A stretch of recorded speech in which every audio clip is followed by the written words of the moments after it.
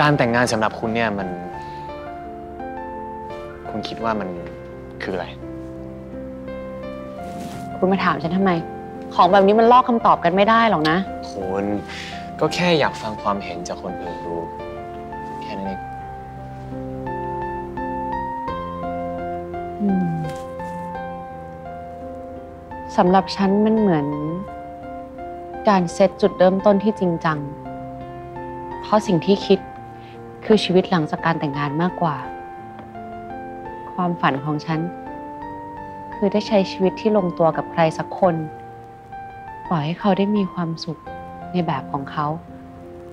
และเขาก็คิดแบบนั้นกับฉัน โดยที่เราสองคนไว้ใจซึ่งกันและกัน สนับสนุนกัน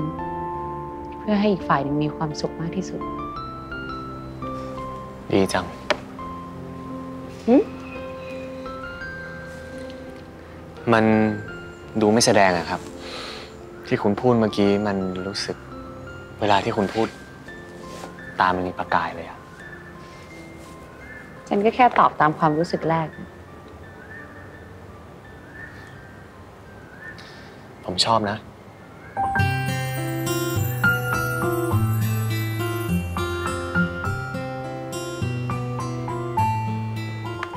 ผมชอบที่คุณพูดนะ มันดูดีมาก ๆ เลยอะ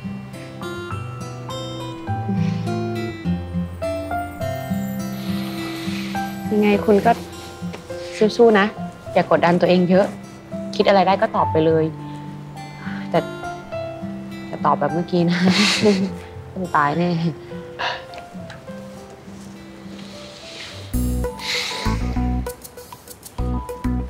ฉันขอถามอีกข้อนึงสิ มีแฟนมาแล้วกี่คนเหรอ อยู่ในสคริปต์ไหมครับ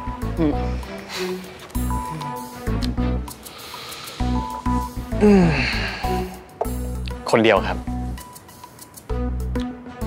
ก็วิสานั่นแหละ แปลว่ารักแรกอะดิก็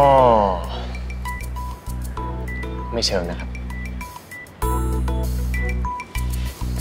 เล่ามา อ้ยคุณ ผม ไม่เอาอะผมไม่เคยบอกเรื่องนี้ให้ใครฟังเลยนะ เล่ามาเถอะนะฉันต้องดูแลคุณไง ก็ควรจะต้องรู้ข้อมูลคุณไว้อะไรอย่างเงี้ยเผื่อไว้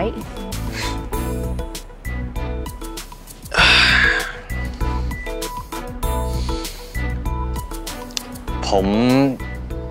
ได้เจอกับคนคนนั้น ช่วงมัธยมครับ ที่ร้านขนม เจอกันทีไร ใจเต้นแรงทุกๆ ครั้งที่เจอกันเลย ก็เพิ่งมารู้ว่าชอบเขาจริงๆจังๆก็ตอนที่ ไม่ได้เจอกันแล้วเนี่ยแหละยังกันใน MV เพลงรัก จริงๆ ตอนนั้นจำได้เลยว่าทำอะไรแบบ เด็กๆอะครับ ต้อง คือคืออยากเจอหน้าเขามากใช่ไหมก็ต้องทำเป็นไปซื้อน้ำแดงกับโดนัททุกๆวัน คือแค่ขอได้เจอหน้าเขาแป๊บเดียวก็ยังดีอะร้านแถวไหนเนี่ยอุดมสุขครับ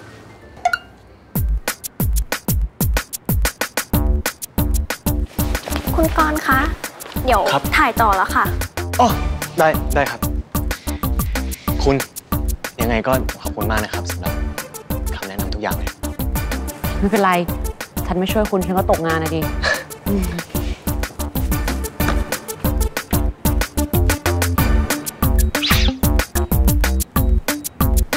ร้านแถวอุดมสุข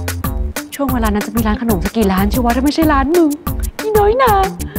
มองลงมึงแล้วนี่น้อยหนาน้อยหนา จอหมอก่อนอีกรอบ ฉันมีข่าวใหญ่จะบอกแก แกมีโอกาสแล้ว